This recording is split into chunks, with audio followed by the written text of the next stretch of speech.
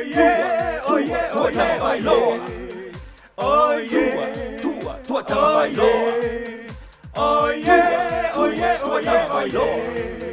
Oye, Tua, Tua, Tua, Bailoa. Tua, Tua, Tua, Tua, Bailoa. Imua. Tua, Tua, Tua, Tua, Bailoa. Oye, oye, oye, Bailoa. Oye, Tua, Tua, Tua, Bailoa. Oye, oye, oye, Bailoa. Oye, oye.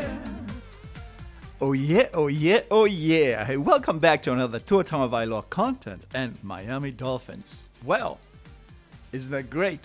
Most of the coaches are here. I mean, it's almost complete, you know?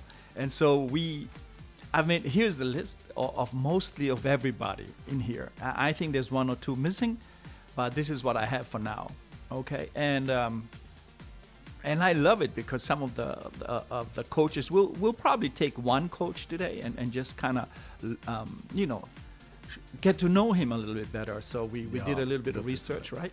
Absolutely. So we have like um, you know, head coach, offensive, you know, Mike McDaniel. He, he he gathered a lot of good people here, and I mean a lot of good coaches, teachers, as you might say. Yeah. You know. teachers that's what it is you know and we have like uh, well first we have to introduce ourselves i'm ukulelevis and this is my good buddy big european Tagovailoa supporter or I, as i call him the big euro the big euro or euro whichever way you want to say it.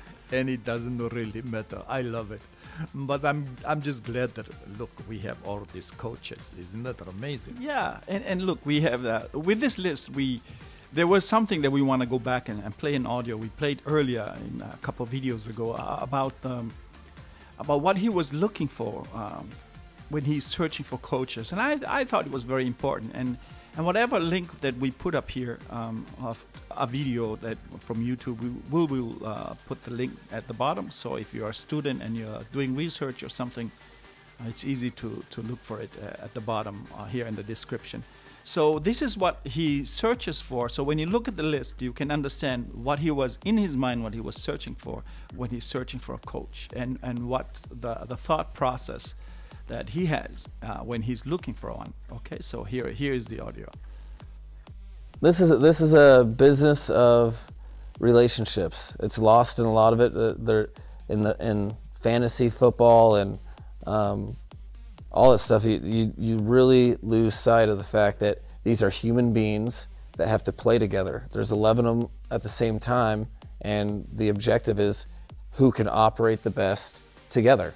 So within that, coaching staffs are extremely important in the same regard, where we you have to have communicators, you have to have leaders, but they also have to be able to maintain relationships with these players because they are ask they're asking the players to do something in a violent sport that if put themselves in harm's way for the sake of the team and the only way you do that uh, by establishing relationships. So that's first and foremost i look at for communicators people that can establish relationships and, and good teachers. Um, and then at the end of the day you assemble as many of those as you can. Um, you should be able to set your team in the right direction. Or man, this is very good, uh, you know, to, to, to understand the thinking behind it. And important that he is saying good communicators, people who has relationships, who can build relationships, and teachers, you know. And wow, I mean that is a great tip, isn't it? Yeah. And, and when you look at it, and, and when he says relationships, um, you know, communicators and teachers, he you, you look at the list and it makes sense why he he picked uh, certain people, you know, that he has relationship with them or they've worked together before or they um, knows them because through work he can see what type of people they are, what type of teachers they were on the field, and and you know, I guess you keep a list on on who you wanna use when you when you have a, a team like the Miami Dolphins. So this is uh, nice, you know. So you know you. And here's here's the thing. I, I will try to do like um, let, let's do this like highlight one, this uh, Darrell Bevell, you know, because um, I think it's important to accept. there's so many of them. We can only do one at a time. So uh, hopefully we'll keep doing some some um, highlighting on some of these people because they'll be here for for the for the year, you know. And I think it's important for all of us to learn a little bit of what they do, where they've been, and what type of relationships they have with all these players, and and how they're going to build the Miami Dolphins team together as one, you know. So I think that's important. Yeah, and, and look, already in the relationships, you have Josh Boyer who's staying back from from the uh, last year, and he's a defensive coordinator. And then, then you know, as same as Danny Crossman, you know, staying back here, never leaving. And then you have the new person, of course, is offensive coordinator Frank Smith, you know, and he was just recently the the 2021 game run coordinator and an offensive line coach for the Los Angeles Chargers you know, and we know he was there with uh, Justin Justin Herbert. Yeah, yeah, absolutely. And, that this is he was just there for the for the for that year, and he did really well. You know, um, with the offensive line and protecting um, protecting uh, Justin Herbert much better. So um, now we look at. Um, as you yeah and, and then you go through the whole list and you can understand all when he's talking about relationships and and uh, communicators and teachers and um, and like we said, we, we want to highlight um, Darrell Bevell today because uh, you know he's been around for a while, and I mean when you look at uh, Darrell Bevell, I mean look how many teams he has been with. That that, that is amazing. I mean, first of all. Um, but just looking at his here, we, we try to make you a nice picture of uh, of him. He was a former quarterback, you know, and then uh, from 1992 to 1995 there in Wisconsin Badgers.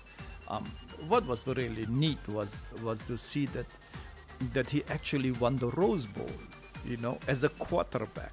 I mean, that is a nice job, you know, versus UCLA in 1994, and um, and when we talk about uh, teachers and coaches and things like that. This is why I really like to speak for Tua Tagovailoa because this guy is a former quarterback. Yeah, yeah, know? yeah. And, and not only that, the things they have familiar with with uh, Tua Tagovailoa is is um, is that he has, you know, his father is a former football coach, just like um, Tua. You know, Tua was taught by his father to be a left-handed quarterback, so come from a family that, that knew football from a very young age. Yeah, so if you if you know if you are now quarterback, you know, and now you want to um, go into coaching, why not?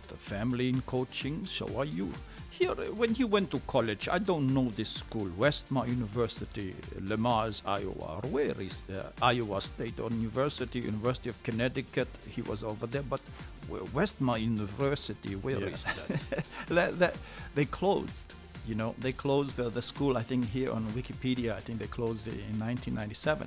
So they had financial problem, and then because they um, they merged with with the university. Um, Teikyo University, um, you know, to, to form a Teikyo Westmar University um, from Japan. So, you know, it, it, didn't work out. So, but interesting how he stayed around in Iowa, and then I like that he went to, to UConn. I'm always for UConn. Yeah, you are from UConn. Uh, hey, uh, look, uh, 2000 he's with uh, NFL. He started his coaching career with the Green Bay Packers as offensive assistant. Yeah, but in 2003, quarterback coach. That's right, man. That's right. Green Bay Packers, you know, offensive assistant. You know, but 2003, you're right. Brett Favre. How nice is that, huh? How cool is that? And, and guess what? So he was there from 2000, 2003. In 2006, you know, to 2009, he went over to the uh, Minnesota, um, you know, Minnesota Vikings, and there, I mean, he he was the um, he even called plays in 2009, but Brett Favre came over from the you know how they traded him to the uh, Minnesota Vikings, so Brett Favre was with him in 2009, and Brett Favre had, had, had an amazing year because of him then, you know, and you can see this.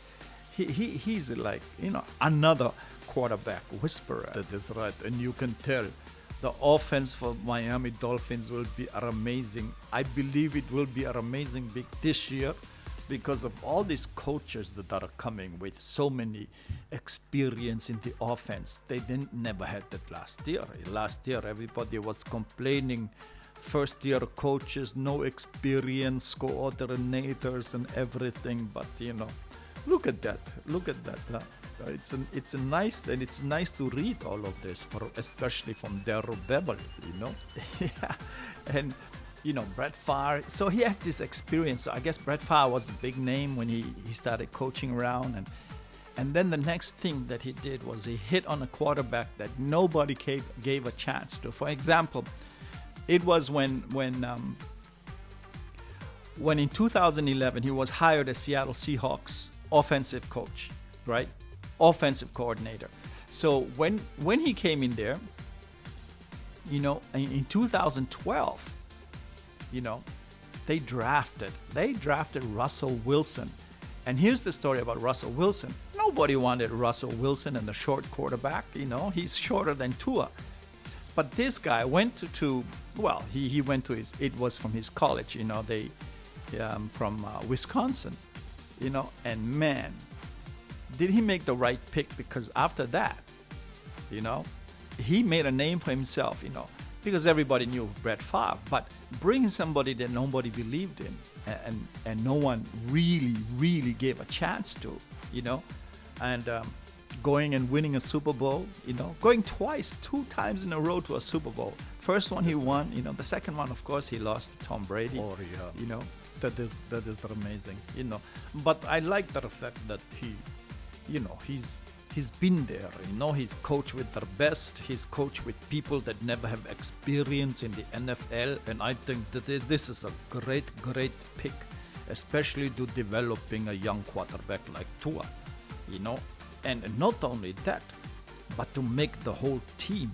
I mean, this is this is nice, you know. This is really, really good. Yeah. know. And, and when you see that, um, you know, he was the um, offensive coordinator in 2019 with the uh, Detroit Lions, and also the who he also became the interim head coach in 2020.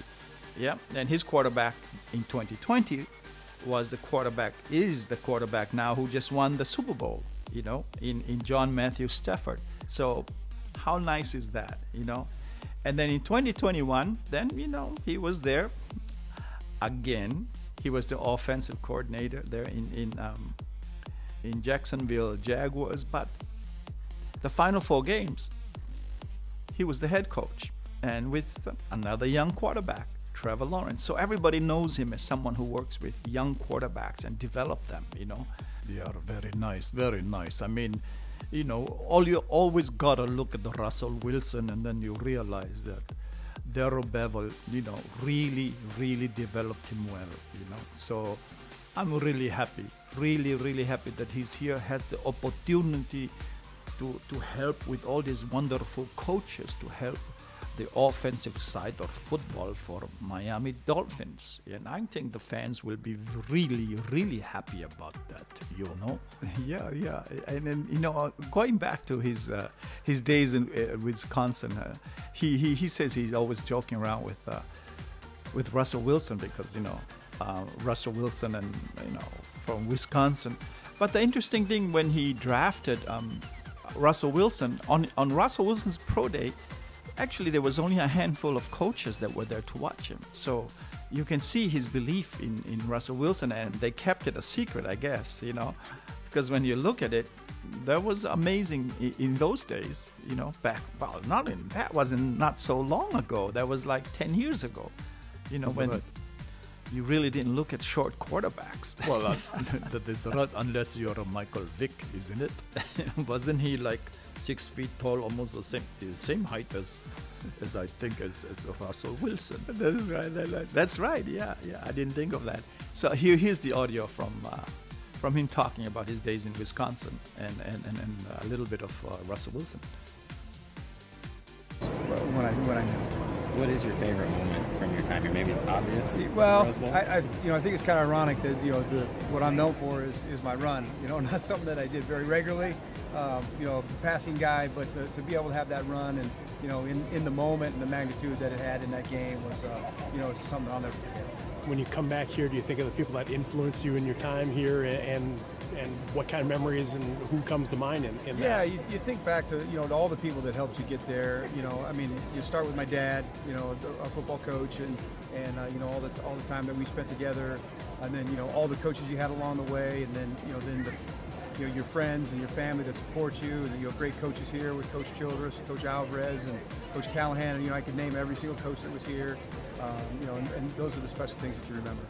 How do you think playing here shaped um, who you are now and maybe what, what you do in, in the football world? Yeah, you know, I, um, I mean, obviously, University of Wisconsin is, is a highly, you know, respected school and uh, Big Ten football. You know, so um, I, I, think it helps me um, for, with what I do now. You know, it's, it's pretty cool to, to know that I played here, and then the guys, the, you know, the players that I'm around every day say, "Oh, you played at Wisconsin," and you know, immediately have a little bit of respect because of you know where you went and where you played. And um, you know, we have Russell Wilson as well, so I get to mess with him a little bit about his time here and uh, yeah, but, um, but it's it's fun, uh, you know, and the memories are great.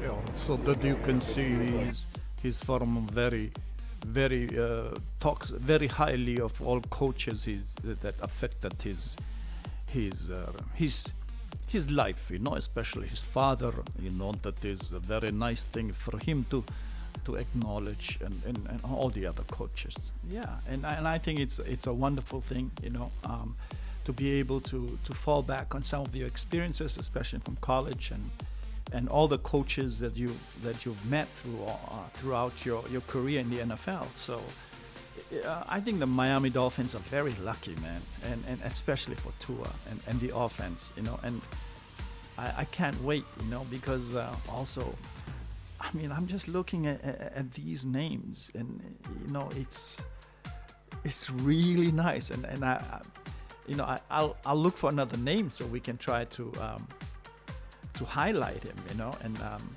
and and we go down this list, you know, and I'm not sure who who will be the next one, and but we, we will do a little bit of each, and hopefully maybe make a little bit of, of each of the coaches so that we kind of know who is who's coming in and and you know what they do, you know, and how they're gonna help um, the Miami Dolphins to be an exciting offensive offensive team next year. You know, with the defense is there. You know, and uh, we'll see, man. Oh. I love it, man. I love it. Me too. Me too. I'm very excited about it. But you know, I always like this this question that was asked during press conference from Mike McDaniel about Tua, and his answer about Tua was not so much Tua, but so much as a collective. You know, it was about the team, and and that what is he set that tone from very first press conference, you know, and I like to play it again. Hey Mike, how you doing? Cam Wolfe, uh, NFL Network. Welcome to South Florida. What's up, Cam? How you feeling? Um, obviously, when you start, the offense start, everything's going to start with the quarterback. What's your belief in Tua and him leading you guys into the next season? My belief in Tua is that he's a football player on this team that's trying to get better. And the biggest message I have for all players, really, the message should be about the team. And what I mean by that is it's really about the team collectively getting better, and there's a responsibility of the quarterback to do so. But I'm not necessarily, I'm not sitting here concerned with how good Tua can be. I'm concerned with, as a collective unit, what we can grow together because that's what wins football games. There, there's I haven't seen a quarterback win a football game by himself ever, really. Um, he has to have somebody throw to. He better not be getting tackled before he throws, so somebody better block. Um, and the defense better not allow them to score. But the, the biggest thing for, for me with Tua is that I want him to come in and work every day, and I'm very confident that he will.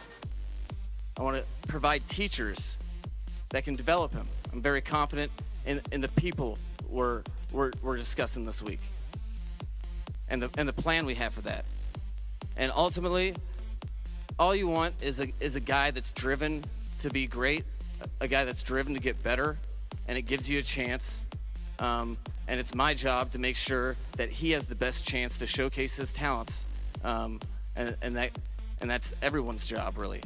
Wow. And there it is. And I, I think Mike McDaniel, uh, with his pick, proved everything he just said. You know, what he was looking for. And that's the last word for the day.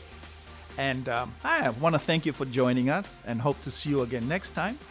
And as always, take care and be safe out there. You take it easy, everybody. Oh yeah, oh yeah, oh yeah, oh yeah. Oh yeah, oh yeah. Oh yeah,